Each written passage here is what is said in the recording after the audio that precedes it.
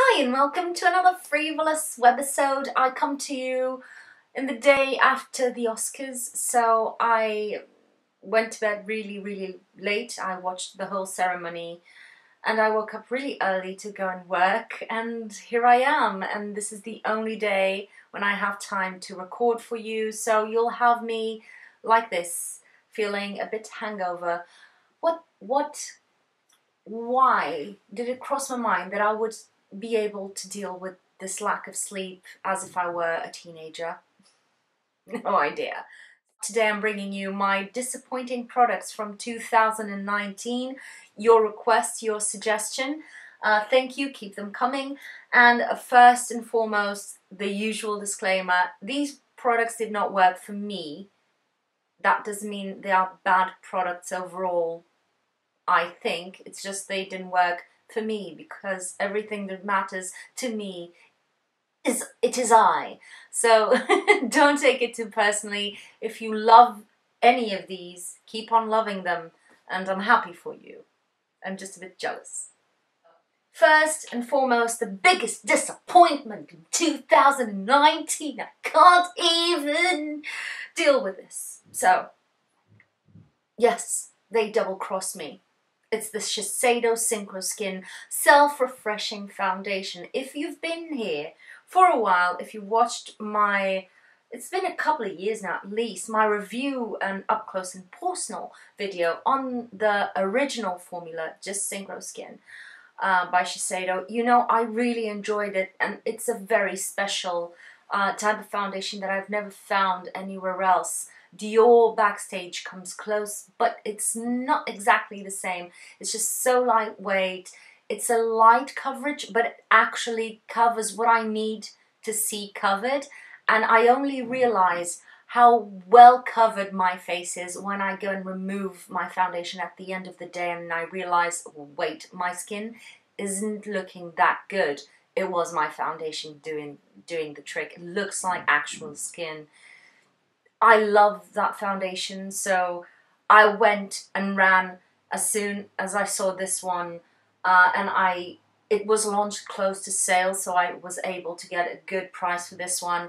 And then I got home, and this is a thick formula. It has nothing to do with the other formula, and I don't care if it says oil free. It gets oily on my face just ap after an hour or so. It's a lot heavier coverage, which I wouldn't mind per se um, if the Synchro Skin had a little bit more coverage to start off with, but it just looked too heavy on my face. And the self-refreshing thing in which it binds on itself and it never creases bull it didn't it didn't do that for me. It just sunk into my wrinkles and fine lines and it didn't look good Anyway, if you want to see an up close and personal on any of these products, I can always do it for you. So don't be afraid to request uh, uh, an up close and personal on this or other foundation or whatever.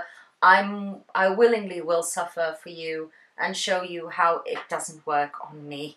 But uh, hey, hey. Next product, again high end. Most of the foundations I'm oh, all the foundations I'm complaining about are high end. This is the Fenty Beauty Hydrating Foundation. Yes, Hydrating Longwear Foundation. Uh, what to say? Again, struggled to find my uh, color because it's not sequential in terms of lighter to darkest or darkest to lightest or whatever. It's not sequential. Some shades in the middle are darker or lighter than the others. Really weird. And uh, then when I got home, this is one of those that kind of looks okay when piled on. I'm not one to pile this on. If I use this in a very thin layer, it will look patchy on my skin. It enhances a lot of texture. It kind of dries down, not as in the sense of setting on my skin, but it looks dry on my skin after a while. If I don't powder it, it kind of starts moving around, slipping, slipping and sliding. I touch it, comes off. Um, if I do powder it, it becomes too heavy. So yeah, this is one of those I can mix with other foundations and kind of use it to give a little bit more hydration, although the glow this provides is kind of meh. Uh, but yeah, I can use this to mix with other foundations. The, the Synchro Skin, I find, I mix it with anything and it destroys whatever it touches. But this one I can keep on using and trying to use it up by mixing it with other foundations. But yeah, did not work for me and even bigger downside, it has a delicious perfume, but still it has perfume. This and the powder, uh, the setting powder, they all smell deliciously of cookies or a sweet dough or something like that, but that doesn't fit my face. Next product is the Makeup Forever uh, Reboot Foundation.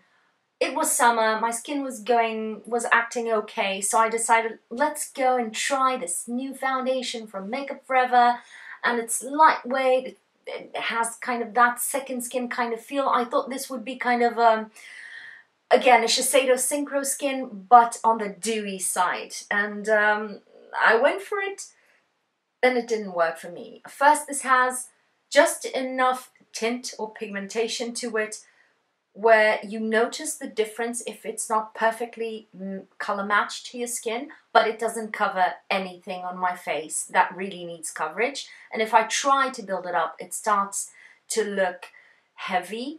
Um, if I don't powder it, it looks beautiful and satiny and glowy for a while, but then it starts, it, it feels again tacky and, and it sticks to my fingers and it's uncomfortable. I can feel it on my face.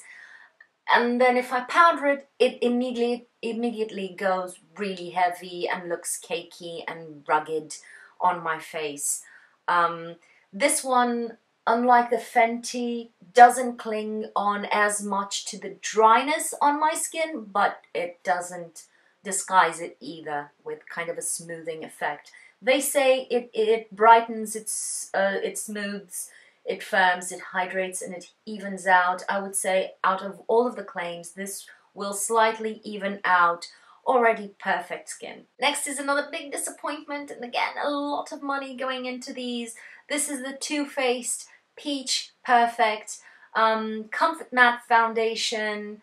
Again, this has a scent that has no place um, in here, and this is too matte for me, and I was quite surprised by that and it's one of those that are really matte on my face and then after a while my skin starts to look so shiny and oily nothing can control it um, again I can mix this one with other foundations and kind of take advantage of the staying power because it is long wearing and it doesn't look too bad and it doesn't fade too badly on me. Um, it fades with dignity like I, I like to say but at the same time it's a bit too heavy. It provides a good looking skin if you cake it on your face. It's not my kind of thing. Um, and yeah, the, uh, the light layer again looks patchy on the skin and clings onto dryness that you didn't know you had. And this one doesn't agree as well with my SPFs and I don't apply ever, almost ever, foundation on dry or bare skin because I always do my skincare and most of the times I wear foundation to um, go to work so I need to wear found, uh, SPF underneath. But yeah, um, out of all of these, the one that really lasts a bit longer, the two that last a bit longer are the Fenty and the Peach Perfect ones, wearing throughout the whole day. And if you have a real life job, you know what I mean, you will struggle with almost all of these. I think if you have kind of the combination mature skin that I do. Next product, uh, this is affordable. This is a Maybelline Superstay Full Coverage Under Eye Concealer terrible shade range in Portugal. This has that kind of thickness uh, that suddenly just creates cakiness on your eyes, but it doesn't cover, it doesn't create a smooth layer on top of whatever, nor does it fuse with the skin. It just leaves that kind of crackled effect, almost curdled effect on my under eyes, which if you have any sort of texture under your, under your eyes, you don't want that. And for me specifically, I can't use this shade for my um, blemishes because it's too light. So, meh. Again, I struggled so much for this one because it was sold out everywhere for so long. So I got my hands on it way later and uh, it was a struggle. And then I put it on my face and the Too Faced Peach Perfect setting powder, the translucent setting powder, powder makes any foundation I apply on my face look pink. So, and I'm not pink, I'm olive toned. I have golden green, so the opposite of pink. And this doesn't balance anything out, it just looks absolutely weird in contrast with my neck or with my chest or whatever. So, although it is quite mattifying, I can apply just get away with applying just a little bit on the sides of my nose, stuff like that. But if I want to powder all over my face, this is going to ruin my look. And I'm so sad because just a couple of months or after the big size were was available everywhere, they came out with the mini and I would have bought the mini, the travel size to test it out. And again, the Peach Perfect range is extremely, extremely scented. I don't like the scent on this one to make to make matters worse, but there you go. To complain about, I have the L'Oreal Unbelievabrow. Do you remember Natalie Tran and Community Channel here on YouTube? If you don't, you should check her out. She was hilarious and I miss that her voice a lot um, nowadays. She was great. But anyway, Unbelievabrow by L'Oreal is a pasty liquid that you apply with the doe foot applicator. Then they provide uh, a tool with a spoolie on one end and an angled brush on the other end and you're supposed to draw on your brows and then mix them in. I find this too heavy. I'm not into the pomade kind of brow. I don't like them to be too blocky, so this doesn't work for me. And yeah, it's too messy, too thick. It takes a while to set and can rub off and mess all over your face. Nah, no, no. Next, let's go into two eye palettes that I did not enjoy. This is the NYX Cosmic Metals palette. I mean, this is a classic. I didn't have it the NYX store was closing, so they have a lot of they had a lot of sales going on. Yes, there is no NYX store in Lisbon anymore. You just have to find it inside other cosmetic stores. Um, but it's not the same as having the full store with all the products. But anyway, I wanted, I really wanted to try this little palette of metallics. They look so pretty when swatched, but then when applied on the eyes, these are these are chalk city. They're super chalky and they lose their kind of um, shine. They lose that luminosity, the metallicness disappears and it just is a crepey mess and it, on aging eyes I wouldn't I wouldn't advise. The other one that failed me and I was really sorry about this one it's the Physicians Formula Sultry Eyes palette. Look at this array of colors. You have neutrals, you have this pop of aubergine and the green which is with the uh, with a black base. You have this beautiful blue and you have some seemingly quite shimmery colors. The problem is, especially this one, I mean, I rub my finger on it, but nothing comes out, and when it does, it comes in chunks and it feels so, again, powdery and dry and it sinks into the crevices of your fingers or of your eyes. I've tried this in store and it was amazing, super creamy, almost felt, the, the shimmers almost felt like Super Shock eyeshadows. And then when I got home and I opened mine, I don't know if it's a dud, but it just doesn't work. The mattes are okay, the shimmers are not worth it. Stick to the Colourpop Super Shock ones.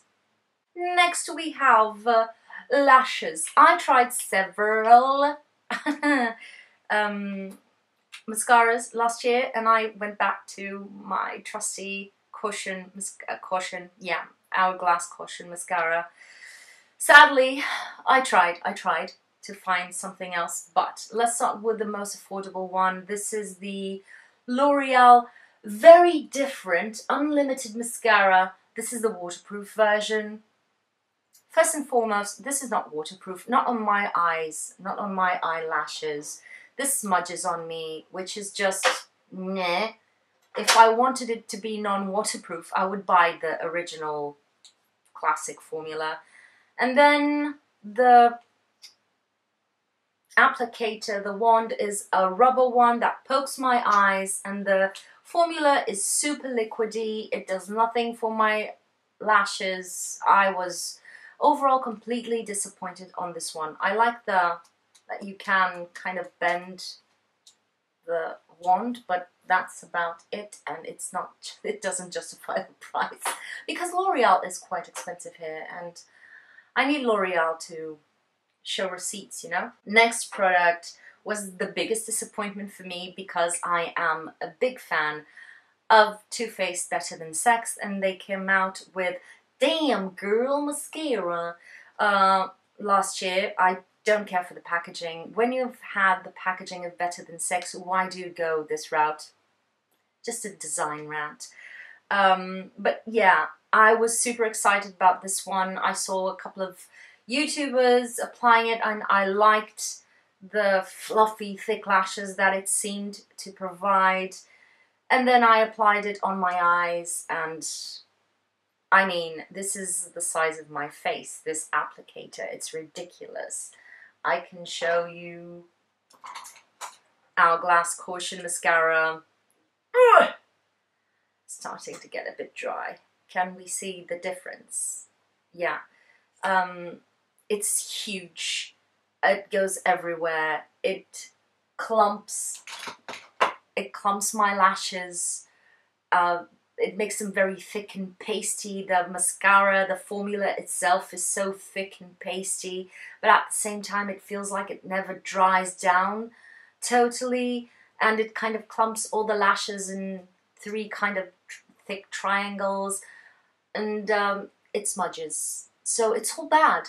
And Better Than Sex for me is the perfect mascara apart from the detail that it flakes and smudges after a while and the waterproof version for me is not waterproof. So the perfect mascara would be better than sex that wouldn't flake and smudge. That's just what they have to improve. If they can make better than sex with a caution formula, sold. It's, uh, yeah. But yeah, this was a huge disappointment. Waste of money, should have waited for the mini and didn't. Now I feel like an idiot. Next one, I got the mini also because this brand, which is Milk, and then Hourglass and Tasha Denona and a couple of others, they just sell a couple of their products in the travel size and you have nothing else to choose from, not even online, which is really weird. And Milk is one of those. You can only buy the mini sticks and the, the mini mascara. There's a couple of kits and that's basically it. We don't have access to the rest of the um, products. But okay, Portuguese Sephora, you do you. I got my hands on the Kush Mascara. Again, the type of wand really called out to me. Again, YouTubers apply this. It looked amazing and it does give you amazing, thick, voluminous, fluttery, fluffy lashes. Problem is, it's not waterproof. It doesn't claim to be, which is nice, it's not waterproof and it smudges all over my face. So next one would be overall my recommendation out of all of my fails, which is the Sephora Size Up Mascara. I think this techni technically came out this year, but I mean, I have to talk about it. It is a dud for me. This gives me thick, voluminous, beautiful, better than sex kind of eyelashes. Uh, but it's far more affordable. It's kind of the same wand as Better Than Sex. It's a very similar formula. If you don't have, this one doesn't flake on me. This one smudges a lot. And it doesn't matter if I set my eyes with powder or, or I don't. It doesn't matter. It always smudges. If you don't have any problem with mascara smudging, the imagery, the adverts on this one are true these th this mascara makes beautiful thick lashes. It just it just goes everywhere on my face. Now we're getting close to the end and you know I like a good bargain and this was not a bargain. I mean it was super inexpensive but at the same time it was crap. I didn't have a lot of disappointments last year regarding lips. Also I tried to uh, calm down my lipstick purchases because Lisa Eldridge took all my money. But I do love a good bargain and um, I saw these at Essence, an Essence uh, display and I had to buy them. These are the Perfect Shine lipsticks from Essence and uh, I was very disappointed because they are called the Perfect Shine and you know the Physicians Formula Butter whatever lipsticks, the same from the, uh, the Butter Bronzer range. Those have a lot of pigment, a lot of coverage, and they are super juicy and shiny. And they have SPF, which is an extra. Also scent, but nah. But they are beautiful, and that's the kind of thing I was looking for on these ones. The Physicians Formula brand wasn't available here when I bought these, and when I apply these onto my lips, it was just, it clings on to the dryness of my lips and it doesn't do any favors for my mouth at all. It just looks thick and crackly and pasted up and there's no way I can use these that flatters my lips, which is annoying to say the least. These were super affordable, that's why I bought three thinking, yes, this is going to be amazing. And then I got home um, and I was so disappointed. In case you're wondering, I have mm, one, four, and five are the colors that I own. Uh, if these work for you, good. And these are also heavily, heavily fragranced. We have to talk about that. Don't be beauty industry. Anyway, these were some of my disappointments in 2019. I hope you have enjoyed this little rant. Don't forget, if you've enjoyed any of these, just, it's fine. It's fine. It's fine. We're fine. We're fine. They just didn't work for me. Let me know in the comments below which were your disappointments. And as usual, if you'd like, please do subscribe and leave me a like and comments and suggestions for next videos. And thank you for spending your time on me, and I'll see you on my next video.